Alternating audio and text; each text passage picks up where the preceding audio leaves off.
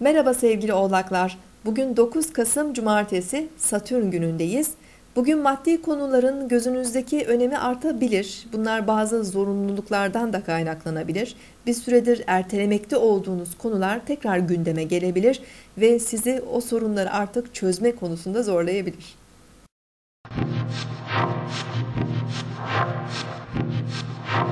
Burcunuzu dinlediniz.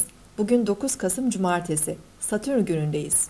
Ay günün ilk saatlerinde Kova burcuna geçiş yapacak. Ciddi ve ağır enerjilerin olduğu birkaç günün ardından bugün kendimizi daha bağımsız hissedebiliriz. Zihinsel enerjinin ve yaratıcılığın yükselmesi sosyal ilişkilerimizi de olumlu olarak yansıyabilir.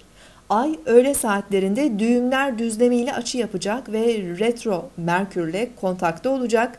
Ee, geçmişe ait bazı ailevi konular, yakınlarımızla ilgili konular zihnimizi meşgul edebilir.